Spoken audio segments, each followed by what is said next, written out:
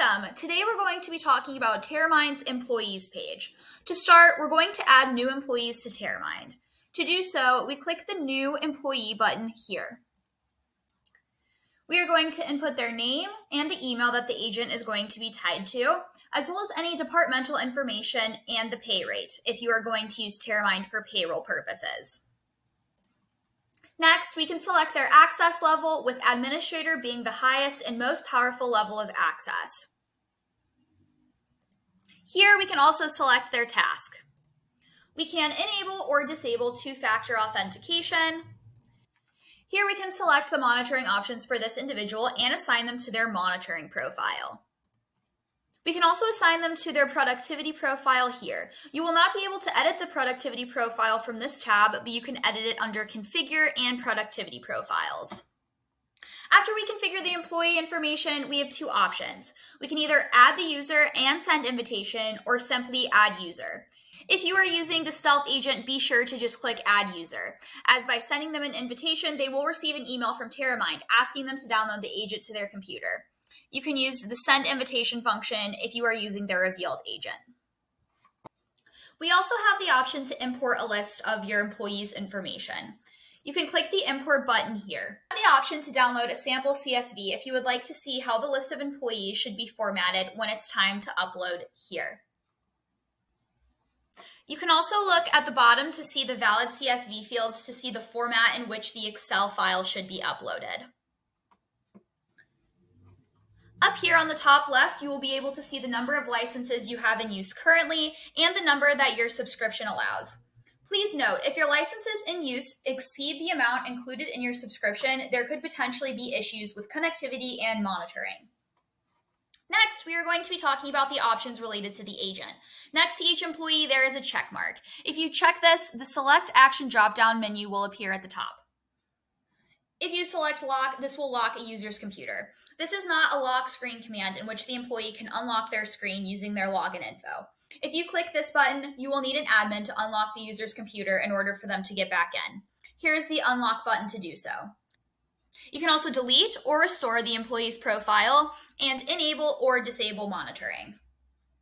You also have the option to bulk edit if you would like to edit the profile information of multiple selected users at once. Next, let's talk about these other drop-down options.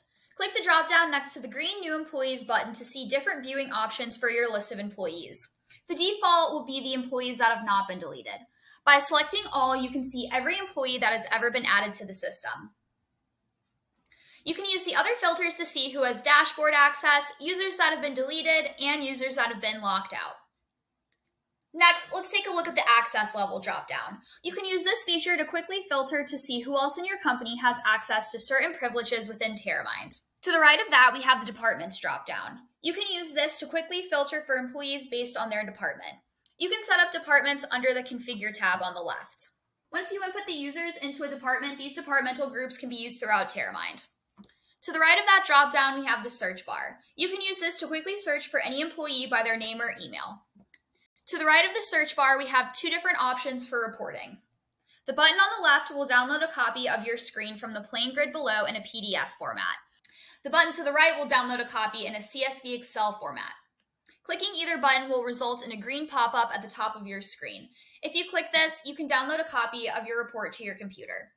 To the right of the reporting options, we have the gear icon. The gear icon allows you to customize your view of the employees page and set up automatic reporting exports.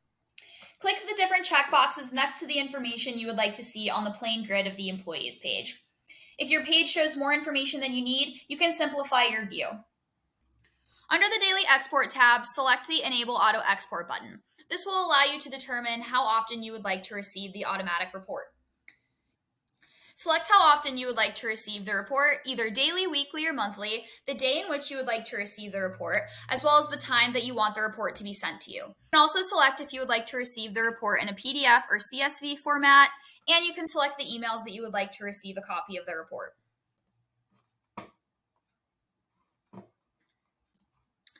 To the right of the gear icon, we have the refresh button. You can click this button after any changes have been made to refresh the page. Finally, we have the Add Filter Attributes button. You can click this button if you use Active Directory through your on-prem deployment. If you have this feature set up, you can add additional attributes and filter those details on this page. Let's talk about the different column options for the employees page.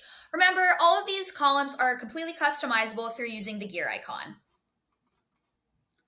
First, we have the employee's name as you registered them in the system, as well as the email that is associated with the agent that was deployed. If you have departments set up, you will be able to see the department that they are a part of here, as well as the first time that they were online using the agent and the first computer that was used.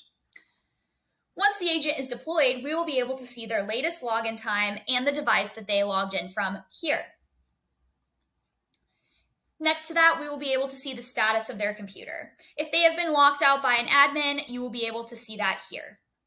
Otherwise, their status will show as active or deleted.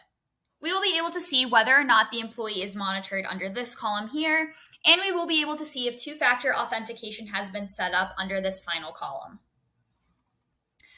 You can double click any of these columns to quickly search for an employee that you might be looking for alphabetically.